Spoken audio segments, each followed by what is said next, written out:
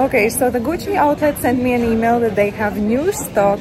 So, of course, I am here at the La Roca Outlet Village to see what new goodies they have. So, let's do some shopping.